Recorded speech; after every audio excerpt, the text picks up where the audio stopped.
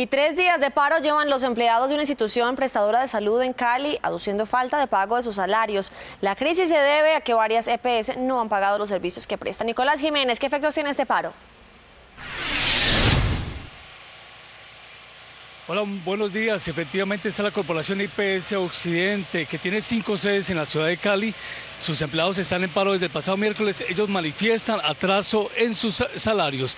Buenos días, nos acompaña Carlos Alberto Agudelo, empleado de esta corporación, de esta Corporación IPS Occidente.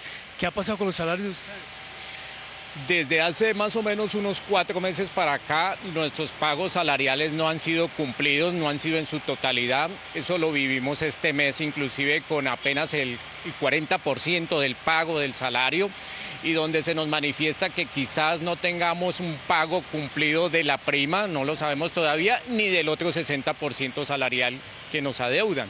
Bueno, también nos acompaña Fernando Rodríguez, usuario de esta. Hoy tenía cita precisamente. ¿Cómo se lo afecta a usted? Pues eh, no puede, que no lo puedan atender oportunamente.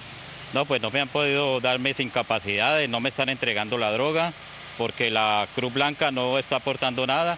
Tampoco nos han pagado a las empresas puntualmente las incapacidades, no me dan las citas oportunamente. Sí, eso es para mí es muy complicado porque me encuentro en una situación laboral eh, eh, que no me da mis incapacidades y eso me, me afecta.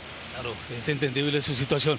Bueno, por otro lado, a esta hora son presentados en el Comando de Policía Valle 11 personas capturadas en el municipio de Florida.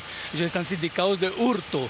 Dos de estas personas capturadas están sindicadas de el homicidio de un menor de edad de 6 años en ese municipio quien se desplazaba con su padre en una motocicleta en el momento de un intento de atraco. Asimismo, en cuanto a la noticia positiva, 616 jóvenes líderes de las comunas de Cali se quedaron hoy a las 10 y 30 de mañana en el centro comercial Río Cauca en varias actividades eh, técnicas como banistería, técnica, metalicería también y fabricación de calzado. Información desde Cali, Nicolás Jiménez, Noticias Caracol.